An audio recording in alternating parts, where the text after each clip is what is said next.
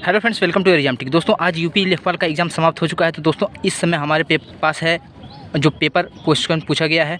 वह पेपर है दोस्तों यह डी सीरीज़ है। दोस्तों, इस वीडियो में हम देखेंगे कौन से ऑप्शन सही हैं, कितने क्वेश्चंस पूछे गए हैं, किस प्रकार से क्वेश्चंस पूछे गए हैं।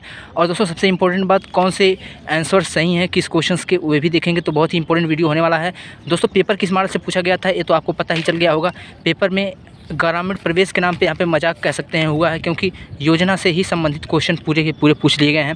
तो दोस्तों, इस वीडियो हम जानेंगे पूरे क्वेश्चंस को तो वीडियो लास्ट ज़रूर दिखेगा उससे पहले यदि आप नए हैं चैनल पे, चैनल को सब्सक्राइब कर दीजिएगा, मात्र एक सेकंड का समय लगेगा। उसके बाद आप हमसे जुड़ेंगे फिर कोई वीडियो अपलोड करूँगा तो उसका नोटिफिकेशन आपको सबसे पहले मिल जाएगा। चलिए शुरू करते हैं और जानते हैं। देखिए दोस्तों, यहाँ पे जो क्वेश्चन पेपर है, यहाँ पे देख सकते हैं, हिंदी का क्वेश्चन पहले पूछा गया है, जो कि यहाँ पे आपको जो है, यहाँ पे ऑप्शन आपको यहाँ पे अपठित गद्यांश है, यहाँ से आपको देखना है और उसके बाद यहाँ पे आपको ऑप्शन सही करना है। तो दोस्तों, देख सकते हैं, यह क्वेश्चन ही मैं दिखाने वाला हूँ। अभी अगले वीडियो में मैं पूरे पूरे क्वेश्चंस के आंसर भी बताने वाला हूँ। तो देख सकते हैं, यहाँ पे जो क्वेश्चन पूछे गए हैं, आसान क्वेश्चन थे, हिंदी के क्वेश्चन बहुत ही आसान थे, यहाँ पर कुछ भी ज़्यादा कठिन क्वेश्चन नहीं देखने को मिला है और न ही मैथ में जो क्वेश्चन वह हार्ड देखने को मिले हैं।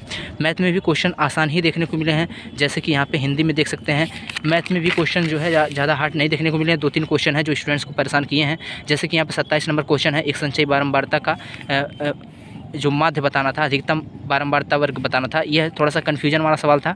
और एक सवाल था दोस्तों, यहाँ पे जो गुणनखंडों का योग ज्ञात करना था, यह क्वेश्चन थोड़ा सा कन्फ्यूज़न वाला था ट्वेंटी एट नंबर क्वेश्चन बाकी क्वेश्चन यहाँ पे आसान दिखाई दे रहे थे।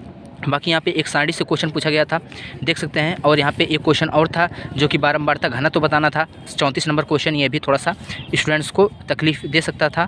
और आगे क्वेश्चन थे जो हार्ड थे आसान क्वेश्चन थे, बहुत ही आसान क्वेश्चन थे, ज़्यादा कठिन क्वेश्चन नहीं था। दोस्तों, जिस भी स्टूडेंट्स ने केवल, जो है ग्रामीण परिवेश में केवल योजना पढ़ के एग्ज़ाम में बैठा होगा, योजना बढ़िया से तैयार करके बैठा होगा वह निश्चित तौर से इस एग्ज़ाम को निकालने वाला है, क्योंकि यह एग्ज़ाम जो है पूरा का पूरा योजना बेस था और निश्चित तौर से ग्रामीण प्रवेश ही नंबर बढ़ाने वाला है। तो ग्रामीण प्रवेश जिसने भी किया होगा बढ़िया तरीके से, उसके यहाँ पर नंबर आने वाले हैं। तो दोस्तों, देख सकते हैं, मैं सारा का सारा क्वेश्चन यहाँ पर दिखाने वाला हूँ और यदि आपको जो है पूरे का पूरे क्वेश्चंस के आंसर चाहिए तो आपको कमेंट बॉक्स में लिखना है। कमेंट बॉक्स में अगले वीडियो में मैं सारे आंसर को लाने वाला हूँ तो टेलीग्राम चैनल का लिंक नीचे डिस्क्रिप्शन में दिया गया है, वहाँ से ज्वाइन हो जाएगा ताकि जो है अगले में आपको ये चीज़ मिल सके। तो देख सकते हैं, ये पूरा का पूरा क्वेश्चन है। यहाँ पे जो ग्रामीण परिवेश से क्वेश्चन पूछा गया है दोस्तों, वह भी आप देख सकते हैं। और यहाँ पे जो जी के जी एस है जी के जी एस के नाम पे भी मज़ाक ही कह सकते हैं दोस्तों, क्योंकि यहाँ पे कुछ भी हिस्ट्री, जियोग्राफी से क्वेश्चन नहीं पूछा गया है। एक क्वेश्चन बस रूलिंग एक्ट से आया था, जो कि संविधान से संबंधित क्वेश्चन था।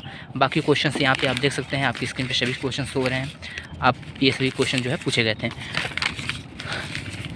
यहाँ पे इन सभी क्वेश्चंस को आप मिला भी सकते हैं, गूगल सर्च भी कर सकते हैं, जो भी ऑप्शन आपसे सही होंगे दोस्तों। तो दोस्तों, इस प्रकार से क्वेश्चन पूछे गए थे। निश्चित तौर से वीडियो पसंद आया होगा, वीडियो पसंद आया चैनल को सब्सक्राइब करिए, वीडियो शेयर करिए कोई क्वेश्चन होगा कमेंट बॉक्स में लिखिएगा दोस्तों, और आपके कितने क्वेश्चन सही हो रहे हैं, आपके कितने आंसर सही हो रहे हैं। आप कमेंट बॉक्स में लिखिएगा, फिर मिलेंगे अगली वीडियो तक लीजिए जय भारत।